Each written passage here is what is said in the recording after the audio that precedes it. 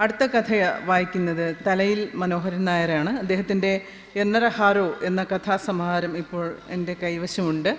ദേശീയതയും മറ്റു വിഷയം രാജ്യതന്ത്രപ്രധാനമായ വിഷയങ്ങളും അടിസ്ഥാനമാക്കിയുള്ള രചനകൾ വളരെ മനോഹരമായി നടത്തിക്കൊണ്ടിരിക്കുന്ന പ്രിയപ്പെട്ട തലയിൽ മനോഹരൻ നായർ സാറിന് സ്വാഗതം. എല്ലാവർക്കും നമസ്കാരം. ഓണം കഴിഞ്ഞ ആശംസകൾ. മാതൃഭാഷയ്ക്ക് വേണ്ടി ഒരുമിക്കുന്ന എഴുത്തുകാരുടെ ഓണം വളരെ സന്തോഷം. എന്റെ കഥ പടിപ്പുരയിലെ പുലിയോർമ്മകൾ കൊച്ചു കഥയാണ്. ഓർമ്മകൾ ചായം തേച്ച മാനത്ത് നത്തിന്റെ കണ്ണുകൾ പോലെ ഏതാനും നക്ഷത്രങ്ങൾ. ഒന്നെങ്കിലും തെളിഞ്ഞിരുന്നെങ്കിൽ ആരതി ആഗ്രഹിച്ചു.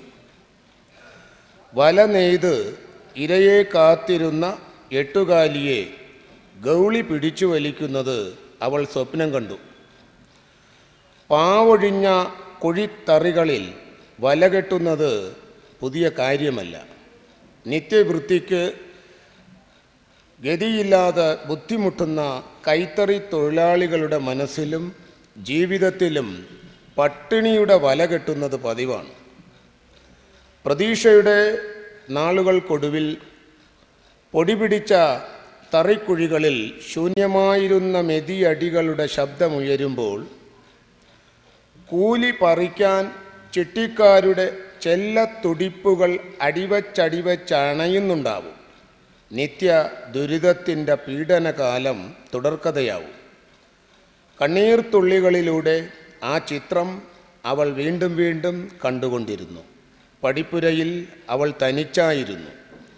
മഞ്ഞക്കോടികൾ നെയ്തു തീർന്നെങ്കിലും വിലപിടിപ്പുള്ള ഏതാനും കസവ് കഴികൾ ചുറ്റാൻ ബാലൻ പണിക്കർ അവളെ നിർബന്ധിക്കുകയായിരുന്നു.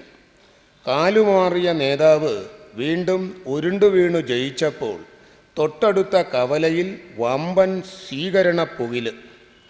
ഉത്രാടത്തലേന്ന് നാമമാത്രമായ കൂലിയും ബോണസും വാങ്ങി അവൾ പൊട്ടിപ്പൊളിഞ്ഞ കുടിയിലേക്ക് പുറപ്പെടാൻ എണീറ്റതായിരുന്നു. പണിക്കരുടെ സ്നേഹസാന്ദ്രമായ വിളി പാവുമുറിയിലേക്ക് അവളെ തിരിയാൻ പ്രേരിപ്പിച്ചു. ആരു? പണിക്കരുടെ മധുരമായ ശബ്ദം വീണ്ടും അവളുടെ കാതുകളിലെത്തി. നനക്ക് ഇത്തിരി പൈസ കൂടി തരട്ടോ. അവൾ ചോദ്യഭാവത്തിൽ നിന്നു. പണിക്കർ തുടർന്നു. നീ വേറൊന്നും നനയ്ക്കണ്ട. ആ കശ്മലനെ നാളെ സ്വീകരിക്കണോണ്ടേ. അവനെ പിണക്കണത് പന്തിയല്ല. കാര്യമായിട്ടൊരു കസവ് തുണ്ട് കൊടുക്കണമെങ്കിൽ ഈ അന്തിക്ക് കസവ് താരി ചുറ്റാനും നെയ്യാനും നീ അല്ലാണ്ട് വേറെ ആരാ ഇവിടെ? ദാരിദ്ര്യവും പട്ടിണിയും തിന്നു കഴിയുന്ന ഒരു കുടുംബത്തിലെ അത്താണിയായ അവൾക്ക് എത്ര പൈസ കിട്ടിയാലും അധികമാവില്ല. മഴ കാത്തിരുന്ന വേഴാമ്പലിന് മഴ കിട്ടിയ അനുഭവമായിരുന്നു പണിക്കരുടെ വാക്കുകൾ അവൾക്ക് സമ്മാനിച്ചത്. നീളമുള്ള അവളുടെ കൈവിരലുകൾക്കിടയിലൂടെ കസവുനാരുകൾ കാവ്യചിത്രമൊരുക്കുമ്പോൾ അന്ധകാരത്തിന്റെ നാരുകൾ പടിപ്പുരയെയും പരിസരത്തെയും ഒന്നോടെ വരിഞ്ഞു കെട്ടിക്കൊണ്ടിരുന്നു. മധ്യവയസ്കനായ പണിക്കർ. കമ്പനി പട്ടാളത്തിലായിരിക്കെ രണ്ടാം ലോകമഹായുദ്ധത്തിൽ പങ്കെടുക്കാൻ വിസമ്മതിച്ചതിനെ തുടർന്ന് ബ്രിട്ടീഷ് ജനറൽ ആൻഡമാനിലേക്ക് നാടുകടത്തുകയായിരുന്നു. മാതൃരാജ്യം സ്വതന്ത്രമായപ്പോൾ ഭാഗ്യത്തിന്റെ ആനുകൂല്യത്താൽ പണിക്കരും സ്വതന്ത്രനാവുകയായിരുന്നു. അതിവിപുലവും വിശാലവുമായ പഠിപ്പുരയും പാക്കളവും മറ്റും പണിക്കർക്ക് തലമുറകൾ കൈമാറി കിട്ടിയതാണ്. രാജവാഴ്ചക്കാലത്തെ ഊറ്റവും ചീറ്റവും ഒന്നും പണിക്കരുടെ വരുതിയിൽപ്പെട്ട പടിപ്പുരയ്ക്കില്ലെങ്കിലും പത്തോളം കുടുംബങ്ങൾ അതിന്റെ തണലിലാണ് കഴിഞ്ഞുകൂടുന്നത്. രാജസ്നേഹിയും രാജ്യസ്നേഹിയുമാണ് പണിക്കരെങ്കിലും. അധിനിവേശത്തിന്റെ പുലിനഖങ്ങളെ കടിച്ചെടുക്കാൻ ഈ പ്രായത്തിലും ഒട്ടും മടി കാണിച്ചിരുന്നില്ല. ഉചിതമല്ലെന്ന് വന്നാൽ എന്തിനേയും എതിർത്തിരുന്ന പണിക്കർ ഏക മകന്റെ മുമ്പിൽ മാത്രം പരാജയമായിരുന്നു. കുഞ്ഞിലെ തന്നെ പട്ടാളക്കാരനാവാൻ ആഗ്രഹിച്ചിരുന്ന മകനെ സൈനിക സ്കൂളിൽ ചേർത്താണ് പണിക്കർ പഠിപ്പിച്ചത്. പതിനെട്ട് തികഞ്ഞപ്പോൾ മദ്രാസ് റെജിമെന്റിൽ പേരെഴുതിക്കുകയും ചെയ്തു. പെൺകുട്ടികളോടുള്ള മകന്റെ ചങ്ങാത്തം പണിക്കരെ ഏറെ അസ്വസ്ഥനാക്കിയിരുന്നു. കൗമാരം കടന്നതോ കടന്നതോടെ സദാചാരത്തിന്റെ എല്ലാ സീമകളും അവൻ ലംഘിച്ചുകൊണ്ടിരുന്നു. സാമാന്യത്തിലധികം നീളവും വീതിയുമുള്ള പടിപ്പുരയുടെ തറിത്തളങ്ങളിൽ അരണ്ട വെട്ടത്തിന്റെ മറ ചേർന്നു. ചില നേരങ്ങളിൽ പെൺകുട്ടികളുടെ ഞെരിവിരി കൊള്ളുന്ന നിശ്വാസവായു പണിക്കരുടെ രാത്രികളെ അർബുദം പോലെ കാർന്നു തിന്നുകൊണ്ടിരുന്നു. വർഷത്തിൽ ഒന്നോ രണ്ടോ പ്രാവശ്യം ലീവിന് വരുമ്പോൾ മകനെ ശ്രദ്ധിച്ചാൽ മതിയെന്നായിരുന്ന പണിക്കർക്ക് വളർച്ചയുടെ പടവുകളിൽ ക്രമേണ മകനിൽ വന്ന മാറ്റം നവയൗവനം നൽകുന്നതായിരുന്നു. അവന്റെ കുലീനമായ പെരുമാറ്റം ഏതു പെണ്ണിനെയും വശീകരിച്ചിരുന്നു. ഊടി ഊടയ്ക്കും പാവിനും താരി ചുറ്റിയിരുന്ന പെൺകുട്ടികൾക്ക് സധൈര്യം അവന്റെ അടുക്കലേക്ക് ചെല്ലാമെന്നായി. ഇളപ്പവും തരവും വിട്ട് മുതിർന്ന പെണ്ണുങ്ങളിലേക്ക് അവന്റെ കാമവണ്ടി സഞ്ചരിച്ചു തുടങ്ങിയത് സപ്തതി കടന്ന പാവത്താനായ പണിക്കർ അറിഞ്ഞിരുന്നില്ല. ബുദ്ധി ബുദ്ധിപൂർവമായിരുന്നു അവന്റെ ഓരോ നീക്കവും. എന്തിനും ഏതിനും ഒരു ഒളിവും മറവുമൊക്കെ വേണമെന്ന് പട്ടാള ജീവിതം അവനെ പഠിപ്പിച്ചിരുന്നു. തരം കിട്ടുമ്പോഴെല്ലാം ഒരു സേവനമെന്ന നിലയിൽ ആ പടിപ്പുരയിലെ നിത്യവ്യസനികളായ നെയ്ത്തുകാരികളെ അവൻ ഉപയോഗിച്ചു കൊണ്ടിരുന്നു. മത്യാസക്തി പെരുമ്പാമ്പ് കയറി കടന്നു പിടിച്ചു ഞെക്കി ഞെരുക്കി തകർത്തു തരിപ്പണമാക്കിയ കൂലി കുടികളിലെ അസ്ഥികളിൽ പേരിനു മാത്രം കീറത്തുണി ചുറ്റിയ പെട്ടച്ചികളാണ് അവരിൽ മിക്കവരും. ആപത്ത് കലിയെടുത്ത് അലറുമ്പോൾ അവൻ ആ എലുമ്പിച്ചുമാർക്ക് ഇരു ചെവി അറിയാതെ ധനസഹായം നൽകുന്ന തണൽ മരമാവാറുണ്ട് അതിനാൽ അവന്റെ ചെയ്തികൾക്കെതിരെ അനിഷ്ടക്കേടോ പരാതികളോ ആ പെൺകോലങ്ങളിൽ നിന്നും വന്നതുമില്ല. പൊതുവെ നെയ്ത്തുകാരുടെ ജീവിതം ദുരിതം നിറഞ്ഞതാണ്. ജോലിഭാരവും അതിനെടുക്കുന്ന സമയവും വളരെ കൂടുതലാണ്. വേതനമാണെങ്കിൽ പരമ കഷ്ടവും അങ്ങനെ കുടുംബിനിമാരുടെ മനസ്സുകൾ നീറിപ്പുകഞ്ഞുകൊണ്ടാണെങ്കിലും ലേശം വ്യതിചലിച്ചെന്നു വരാം. വാറ്റുചാരായ പ്രിയന്മാരായ കുടികളിലെ കൊമ്പന്മാർക്ക് കെട്ടുതാലിക്ക് പകരം ചാരായം മോന്താൻ എല്ലും തോലുമായ പെൺനിഴലുകൾ കാശു നെയ്തു കൊണ്ടു ചെന്ന് കൊടുക്കണം. അതിന് കോട്ടം തട്ടിയാൽ തലമുടിയിൽ പിടിച്ചു വലിച്ചു കുനിച്ചു നിർത്തി അടിയും ചവിട്ടും ഉറപ്പാണ്.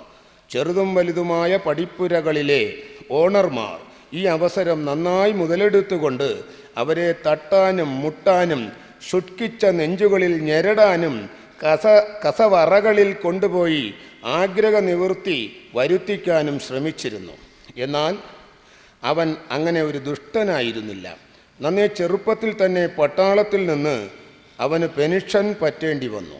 നടക്കുമ്പോൾ ഒരേന്തൽ അവനുണ്ടായിരുന്നു. പട്ടാള ആശുപത്രിയിലെ ഒരു സീനിയർ നഴ്സിന്റെ കാന്തസുന്ദരമായ പ്രശ്നത്തിൽ കടന്നു പിടിച്ചതുമായി ബന്ധപ്പെട്ട സംഘടനത്തിൽ കാലിന് പരിക്കു പറ്റിയതാണെന്ന് അവന്റെ കൗമാരകാല കേളികൾ പറഞ്ഞു പരത്തിക്കൊണ്ട് നാട്ടിൽ ചില അളപ്പന്മാരും തുളപ്പന്മാരും നടക്കുന്നുണ്ട്. ലങ്കൻ കാടുകളിൽ വിമോചന പുലികളോടേറ്റുമുട്ടുമ്പോൾ അവനൊരു കരിമ്പുലിയായിരുന്നു. ലക്ഷ്യം മാത്രം കാണുന്ന അർജുന കണ്ണിന്റെ ദീപ്തി അവനുണ്ടായിരുന്നതിനാൽ കരസേനയിലെ അത്യന്താധുനിക യുദ്ധോപകരണങ്ങളെല്ലാം അവനെ ട്രെയിനിങ് കമാൻഡുകൾ കഠിനമായ മുറയിൽ തന്നെ പരിശീലിപ്പിച്ചിരുന്നു. അങ്ങനെ സകല ആയോധന മുറകളും അവന്റെ മുമ്പിൽ തുല്ലു പറഞ്ഞിരുന്നു. മിടുക്കനായ അവനെ സീനിയർ ഓഫീസർമാർ ഏറെ ഇഷ്ടപ്പെട്ടിരുന്നു. പൊങ്ങച്ചക്കാരനല്ലാത്തതിനാൽ ജൂനിയർമാരും അവനെ വളരെ ബഹുമാനിച്ചിരുന്നു. എന്തിനും ഏതിനും മുന്നിട്ടിറങ്ങുന്ന ആത്മധൈര്യം അവനെ ഒരു ഉന്നത പോരാളിയാക്കിയിരുന്നു. ബുള്ളറ്റ് പോലും തെറിച്ചു പോകുന്ന കായബലം അവന്റെ പ്രത്യേകതയായിരുന്നു. സമാധാന ദൗത്യ സംഘത്തിന്റെ തലവനായി അവനെ നിയോഗിച്ചത് സൈന്യത്തോടും മാതൃരാജ്യത്തോടുമുള്ള അവന്റെ പ്രതിബദ്ധതയ്ക്കുള്ള ബഹുമതി കൂടിയായിരുന്നു. എത്രയെത്ര ചാവേറുകളെയാണ് അവൻ നിഷ്പ്രഭമാക്കിയത്. അതിന്റെ പാടുകൾ അവന്റെ ശരീരത്തിൽ അലങ്കാരം ചേർത്തി കിടക്കുന്നുമുണ്ട്.